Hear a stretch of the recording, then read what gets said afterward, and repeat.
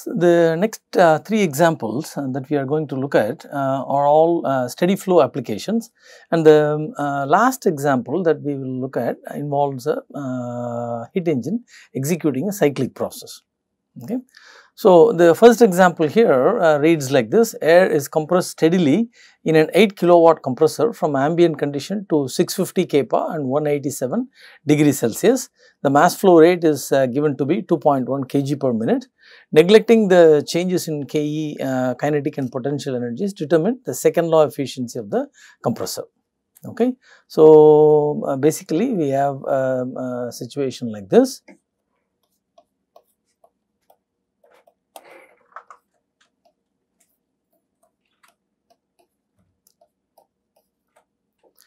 So, we have a compressor, air enters at uh, ambient condition, then it is compressed to 650 kPa, 187 degrees Celsius. So, we apply um, uh, steady flow energy equation uh, to the compressor and we make use of the fact that uh, air um, uh, is an ideal gas and calorically perfect. So, we simply write H1 minus H2 as uh, Cp times T1 minus T2. Uh, if we uh, plug in the num numbers, we get Q dot to be minus 2.2711 kilowatts. Okay. Remember the power of the compressor is given to be 8 kilowatts. So, W x dot is actually minus 8. You need to keep that in mind. So, Q dot is known now and uh, the rate of entropy generation and so exergy destruction may be evaluated like this. So, this is sigma dot. So, basically it is m dot times S2 minus S1 plus q dot surroundings divided by uh, T naught. And um, you may recall that q dot surrounding uh, is equal to minus uh, q naught and S2 minus S1 here may be evaluated using the uh, TDS relations because it is an uh, ideal gas. So, if you go ahead with this you get uh, the lost work uh, expression for lost work reads like this and the lost work itself comes out to be 1.2102 kilowatts. So, now uh, we can write the um, uh, second law efficiency of the compressor as absolute value of W x dot reversible divided by uh, the absolute value of W x dot. Remember this is a power absorbing device okay. So, which means that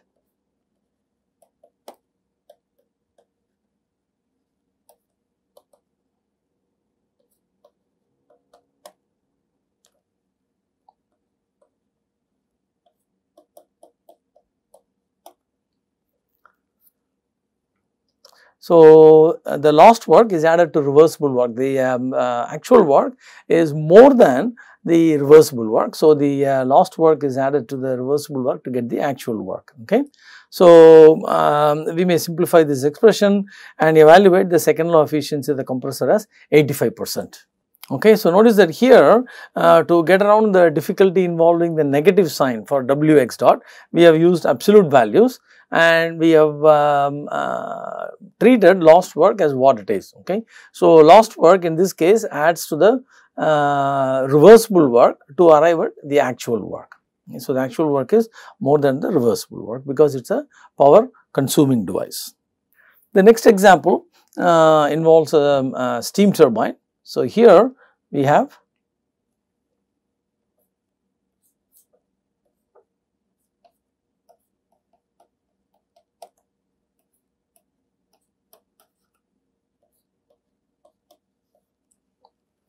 So, steam enters the turbine steadily at 3 MPa 440 degrees Celsius. So, we know that it is superheated based on the property values that are given at a rate of 8 kg per second and exits at 0.35 MPa and 160 degrees Celsius.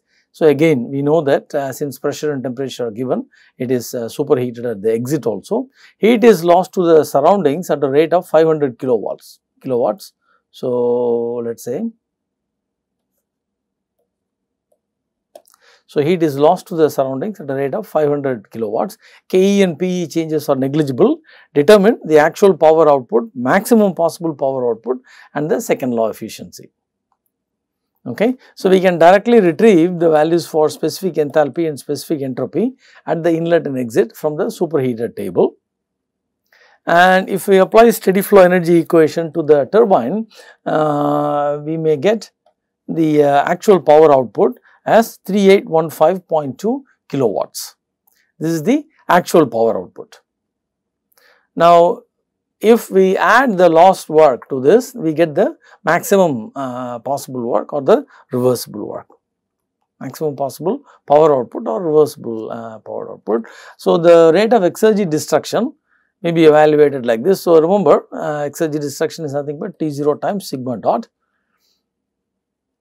So, sigma dot itself is equal to m dot times S2 minus S1 plus q dot surrounding over T naught and q dot surrounding is minus uh, q naught. So, if you um, uh, plug in the values we get the uh, rate of exergy destruction to be 679.5152 kilowatts. So, we add this uh, rate of exergy destruction which is also lost work to W x dot actual to arrive at the maximum possible work or maximum possible power that we could have obtained from the turbine and that comes out to be 4494.72. Since this is a power producing device, the uh, second law efficiency is simply W x dot actual divided by W x dot maximum and the efficiency of the uh, turbine, second law efficiency comes out to be 85 percent or so, which is quite high. 85 percent second law efficiency is usually considered to be high, but typical of uh, turbines. The next example that we will look at involves a feed water heater or mixing chamber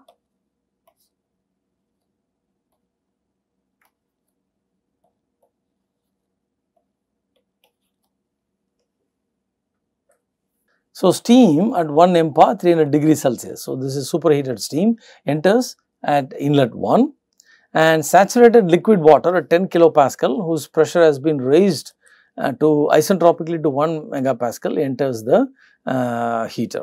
Okay. So, steam at 1 megapascal and saturated liquid water whose temperature uh, whose pressure has been raised to 1 MPa um, enters the enter the heater.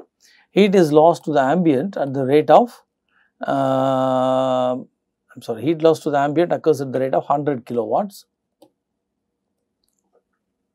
If saturated liquid at 1 MPa is to exit the heater, determine the required mass flow rate of steam for every unit mass flow rate of the exiting stream. So, that means uh, M3 dot is 1 kg per second. So, we are asked to determine the amount of uh, um, so the mass flow rate of steam that is required to accomplish the given uh, conditions. Remember the condition is that saturated liquid at 1 MPa should leave the heater. So, we adjust the mass flow rate of steam until we are able to accomplish that. So, basically we assume the mass flow rate of steam to be x kg per second. So, this mass flow rate is then 1 minus x kg per second because this is at the at the exit the mass flow rate is 1 kg per second uh, we are asked to calculate the uh, rate of exergy destruction, the second law efficiency of the feed water heater or mixing chamber. Okay. In the next module where we are going to discuss um, uh, Rankine cycle, uh, you will learn this is uh, usually referred to as a feed water heater and not as a mixing chamber in the uh, in the next module. And this is, um, although this is uh, irreversible, we know that mixing is highly irreversible. This device is still um, uh, very, uh, very good device because it allows um, uh, stream to be heated uh, by mixing and not by adding heat to it directly. So, the, the water which comes in at uh, um, 1 MPa is actually heated until it leaves as um, a saturated liquid at 1 MPa. So, that means it is being heated uh, uh, to that temperature without directly adding heat and that reduces the external irreversibility associated with the heat addition process and actually increases the uh, overall efficiency of the plant. We will see this uh, in the next module. Okay. So, for the superheated steam that comes in through inlet 1, we may retrieve the property values like this and at uh, state 3 we have um, uh, saturated liquid at 1 MPa. The state is given. So, uh, uh we have HF H3 equal to HF and S3 equal to SF at 1 MPa.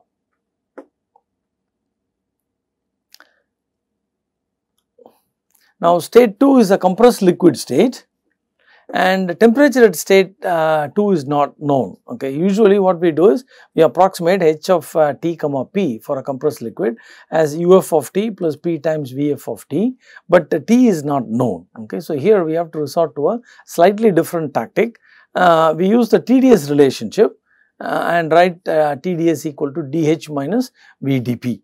Okay. It is given that uh, the water uh, that is entering uh, at inlet uh, 2 is actually compressed isentropically from a pressure of 10 kilopascal to a pressure of 1 uh, megapascal. So, for that process we can uh, take ds to be equal to 0 and um, dh then may be evaluated like this.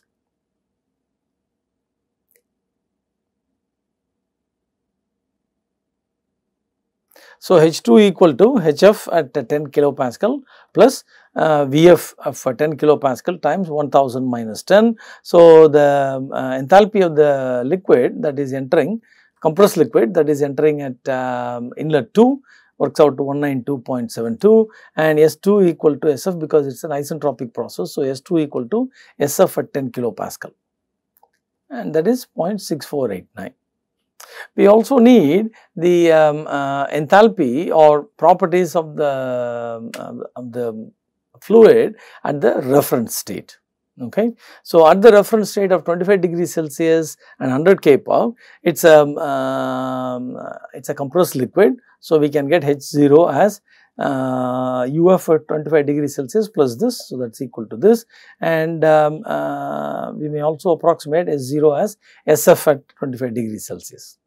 So, now we have all the property values that we uh, require. So, I suggest that you review this uh, once more just to make sure that you are, uh, you are comfortable with what we have done. Okay. So, basically uh, it is given that saturated liquid water at 10 kilopascal is compressed isentropically or its pressure is uh, increased isentropically in a pump. So, that is the process that the um, uh, that the water has undergone before entering um, inlet 2. So, basically if you recall, uh, so if I draw a TS diagram like this, let us say this is the isobar corresponding to 10 kilopascal and this is the isobar corresponding to 1 MPa. Then the saturated liquid at uh, 10 kPa is pumped in a pump from 10 kPa to 1 MPa and that is an isentropic process. So, this is state 2. Okay. So, we apply TDS relation to this process, to this process, the pumping process and we are able to calculate H2 and because it is an isentropic process, S2 is equal to uh, SF at uh, this state. So, that is what we have done. So, if we now apply steady flow energy equation to the feed water he heater, we get x to be equal to 0.2345. So, for every kilogram per second of saturated liquid at 1 MPa that leaves the feed water heater, we need 0.2345 kg per second of steam. Okay. Now, specific exergy of the uh, outgoing stream psi 3 may be evaluated like this after substituting the values here psi 2 and psi 1 may also be evaluated in this uh, in the same manner. So, the rate of exergy destruction is nothing but rate at which exergy comes in minus rate at which exergy leaves the feed water heater.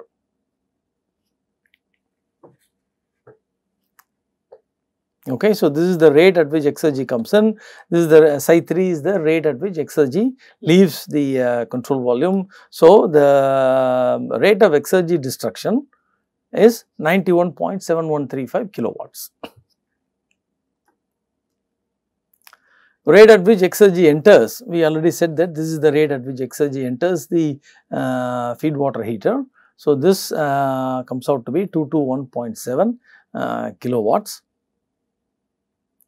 Therefore, uh, we use the, uh, uh, the second law efficiency. This is not a work producing or a work absorbing device. So, you may recall that for such devices, uh, we write the second law efficiency like this. So, rate at which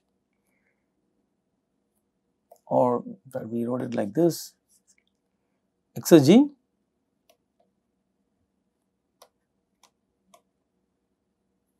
recovered divided by exergy supplied.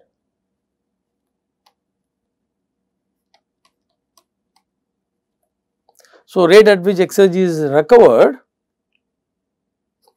so, rate at which exergy is recovered is nothing but exergy supplied minus rate at which exergy is uh, destroyed. So, this is equal to exergy supplied all on a rate basis uh, because this is a steady flow problem minus exergy destroyed.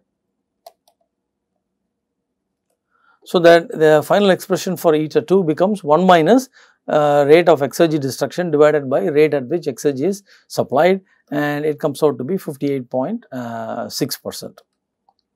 Now, as we said because it is a mixing chamber its second law efficiency is poor, but in an overall sense because we are able to uh, heat a stream of water without directly supplying heat to it, the overall uh, efficiency of the cycle still improves as we will demonstrate in the next module. The last uh, example involves a cyclic process. So, here uh, we have a, a, direct heat engine. So, we have uh, two reservoirs, one at uh, TC. We have a direct heat engine which receives an amount of heat QH from a high temperature reservoir, uh, rejects heat to a uh, low temperature reservoir at TC and we are asked to develop operates in a cycle and we are asked to develop an expression for the second law efficiency of the heat engine. So, the exergy recovered during uh, each cycle basically is, is this plus the exergy associated with QC. You may recall that uh, the exergy associated with QC may be written like this.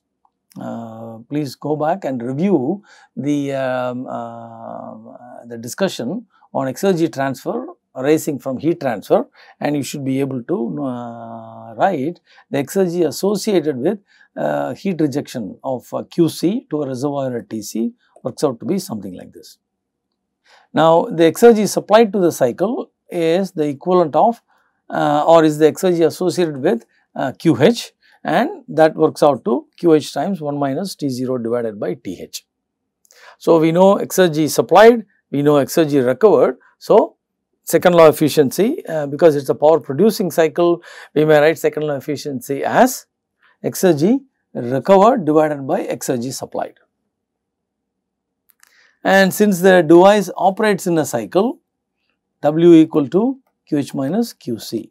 So, uh, these two cancel out and if you divide through by QH we may uh, write this expression Okay. So, here eta is the uh, actual efficiency of the cycle. So, eta is equal to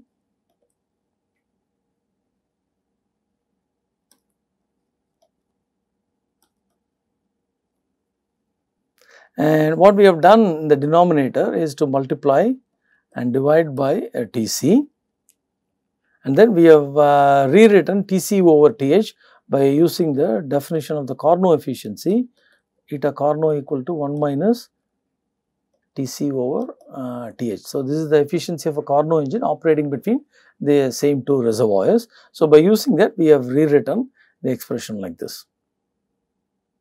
So, this is the second law efficiency of the cycle expressed in terms of the first law efficiency and the Carnot efficiency. Now, if heat is rejected to the ambient instead of uh, to the if heat is rejected to the ambient instead of to a reservoir at Tc. Basically, we set Tc equal to T naught, then we get the uh, second law efficiency of the cycle to be just eta over eta Carnot. Okay. Otherwise, if it is rejected to an intermediate uh, reservoir at a temperature higher than the ambient temperature, this is the uh, expression uh, that we get. So, you can see that the second law efficiency gives us more perspective on the performance of the cycle and insights on the operations of components because we can define second law efficiencies for individual components which are executing a non-cyclic process. It gives us insights on the performance of the uh, of individual devices, the uh, exergy destroyed and uh, this will allow us. So, when we have let us say uh, several designs for executing or accomplishing a certain process, this metric will allow us to make a comparative evaluation of these designs because they may be identical on a first law basis and which they will be usually. So, we need to uh, discriminate uh, against the poorer designs by using the second law efficiency. Okay. So, second law efficiency and the notion of exergy are thus very very important in practical thermodynamic uh, applications. Okay. So, what we are uh, going to do in the next module is to discuss thermodynamic cycles. Uh, we will discuss um, uh, three cycles. First one is the uh, Rankine cycle or steam power cycle. Next one is the air standard cycle. Third one is the vapor compression refrigeration cycle, okay, which is a power absorbing cycle. Now, the, the Rankine cycle and the vapor compression refrigeration cycle have as we showed in the previous course, they are genuine heat engines because there is a fixed quantity of uh, mass of the working substance which executes the cyclic process throughout. Okay, so, whatever we have discussed, you know, so it uh, qualifies as a heat engine and the uh, discussion proceeds very uh, smoothly.